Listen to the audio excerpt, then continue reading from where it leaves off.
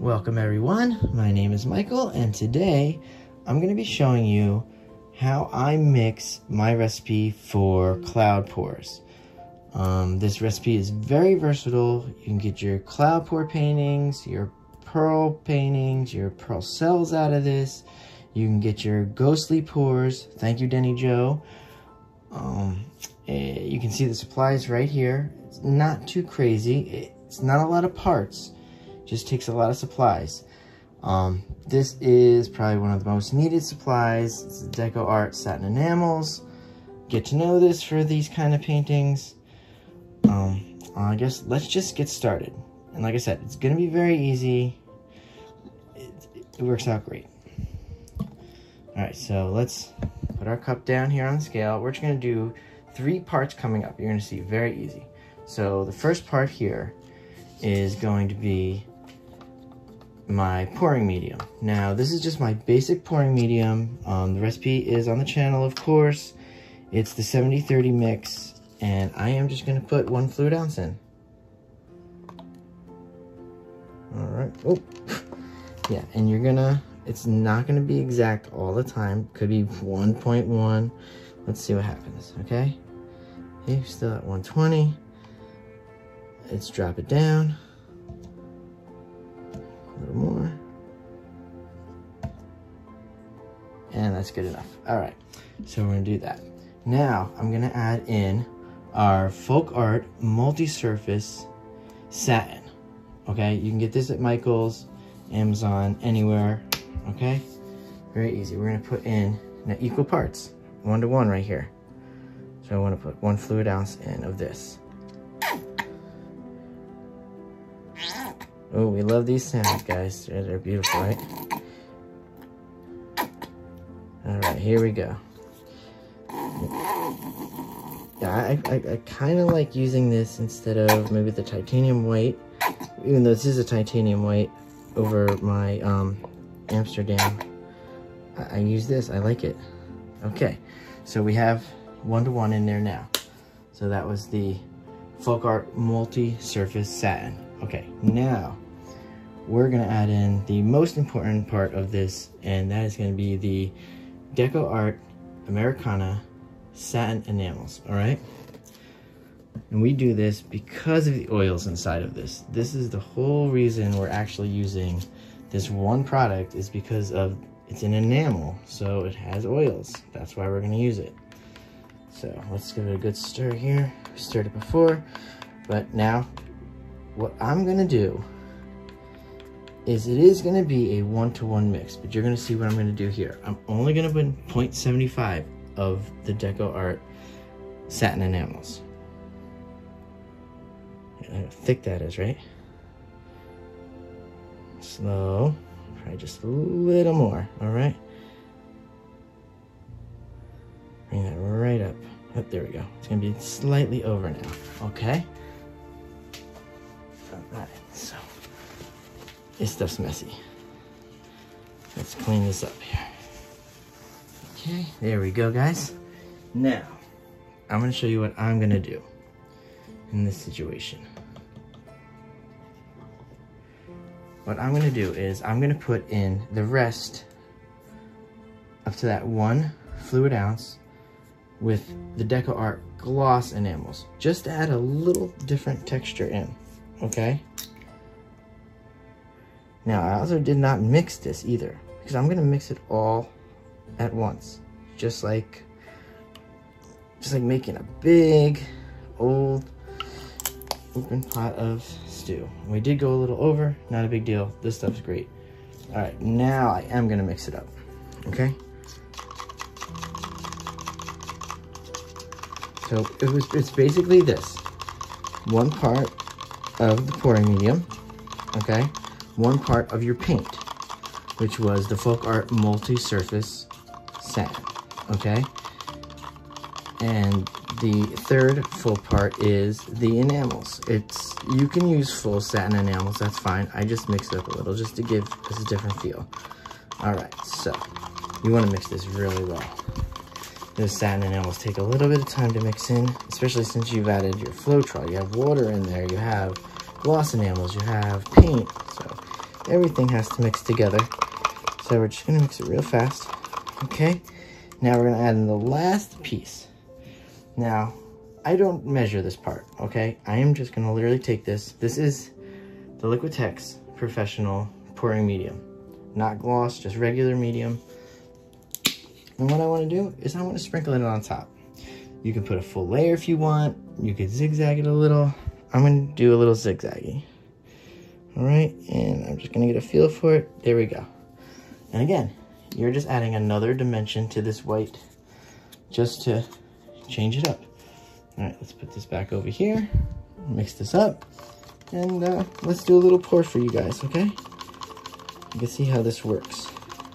And I also want to show you guys how to do the consistency on this as well. So let's see the consistency so far.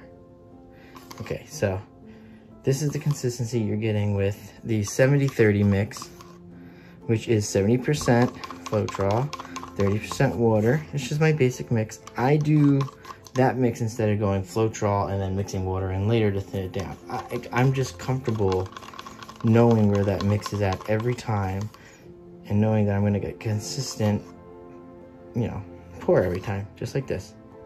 This is actually slightly thicker, I think, than my paints that I'm gonna use for this pour. So let's see. Here's my paints. That's not too bad. They're pretty close. Now we're gonna do a little test, okay? So I do wanna grab a little swath of paper here. I'm gonna put my white down. Now, the rest of my paints are all equal. I did test on these before. Look at that, the white is runny. So let's see how fast this white is gonna run. So we're gonna put some white here, okay?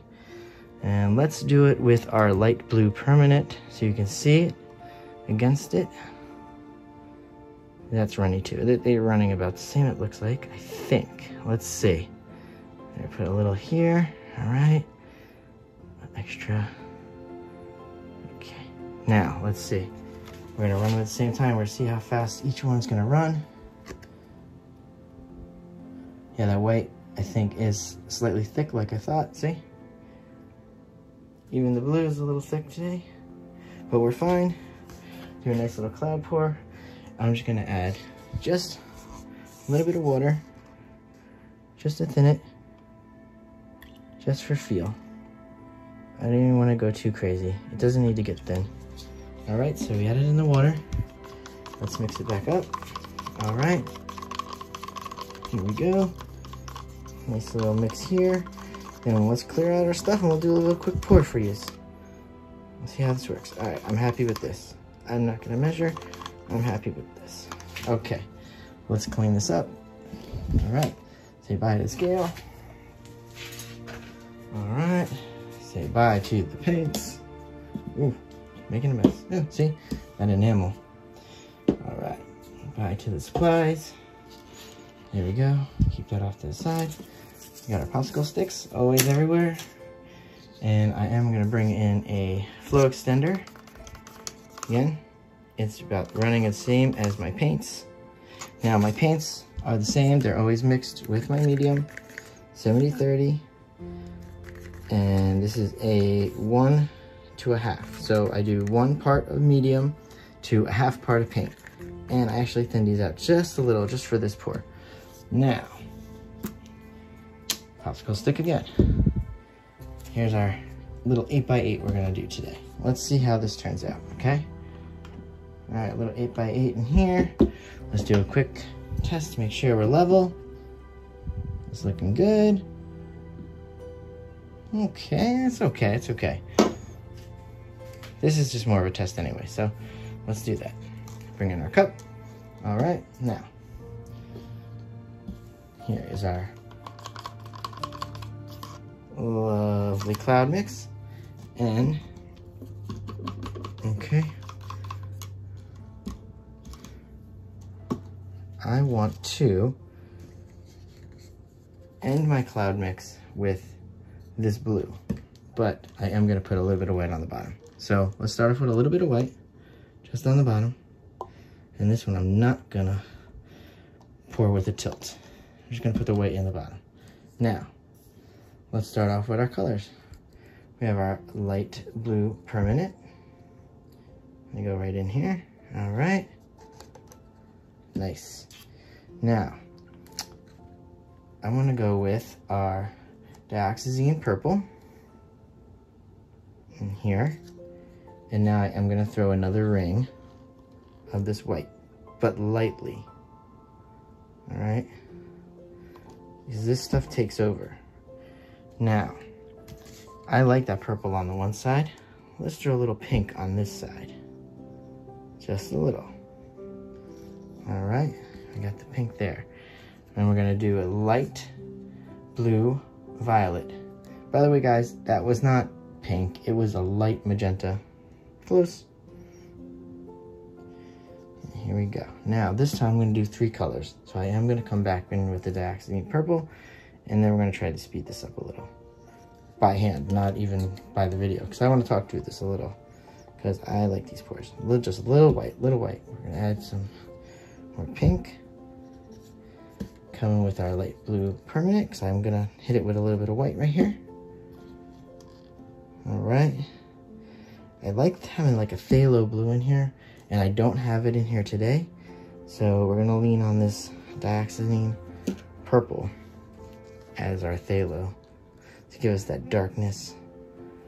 So let's see how this works out. We don't have to go too crazy. This is not a big canvas, but I do want to have enough little cloud fingerlings to show you guys how the it reacts in the painting. All right, let's, again, let's go back with that dark contrast there. And let's start to finish it up. And when you get towards the end, you kind of want to fill up the cup as much as you can with your colors and not as much of the white. I'm going to put a smidge more of the white down. I don't have a lot of white in this, but you'll see. It's probably going to come out crazy with the white. All right, let's put the Let's fill this up and we're gonna do a nice pour. All right, boom. Um, and first down is gonna be our purple. Okay, purple's done. Now, that's good. Put that there. And a messy, woohoo. Let's bring in our flow extender because we're probably gonna need that. Just in case we need that, we're gonna put it right there. All right, guys, here we go. Let's try this out. I guess we'll just, uh, uh, I wanted to do a waterfall pour, but let's just do like a, like a little ring. Try to get those cloud fingers like this, watch. Let's see. Does that didn't put a lot of white. Where's the white? Hmm, I actually don't see the white at all. Oh, maybe the white's really thin today. Oh, that's gonna look weird, huh? Let's see. White is gonna be crazy today, huh? Oh, the white really reacted with the cells. And this came out more like a pearl mix. Let's see if we can get a good, good cloud design here. I'm getting these little, little ringy clouds. All right. Oh, here we go. Here's some more white. Okay. There we go. All right, there we go. Put that to the side. I'm gonna use a little bit of flow extender here. So I can stretch this and get those clouds going in there. I think our clouds ended up being a little thin. Not a big deal. Worst case scenario, you end up getting nice pearl cells, as you can see. Like that. So, really no downside. okay, here we go, guys. Let's stretch now. I'm not gonna do a quick stretch, I'm just gonna do a slow stretch. I wanna see if we can get some of these clouds popping up, even though I made it too thin. I'm gonna stretch.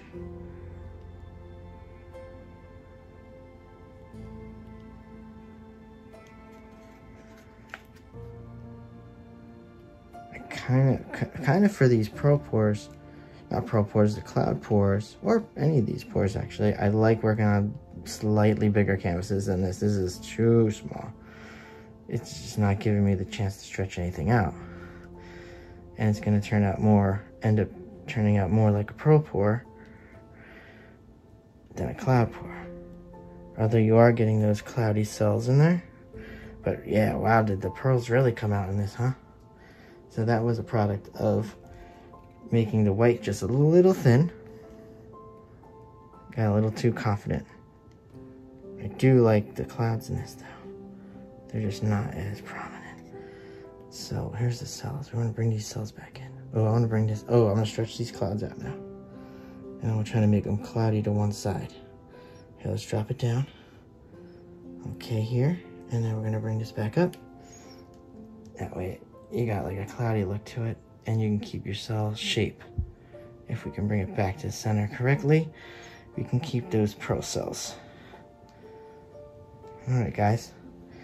So I didn't get the winged cloud fingers that we wanted, but I did get some really nice pearl cells. So again, the mix is very versatile. I just undermixed the white. Okay, there we go. Put that right there. Now we can go down for a close-up and we can wrap this up. Um, hopefully, yeah, very easy. Try to make it at home. You can do this. A little thicker on the white than I just made here. Um, but when you get in for the close-up, you'll get to see how nice the detail of this white is. Even though they're not puffy clouds and more pearl cells, you'll get to see the detail of how nice this mix works. Um, okay, so uh, yeah, let's go in for a close-up and we'll see you guys later.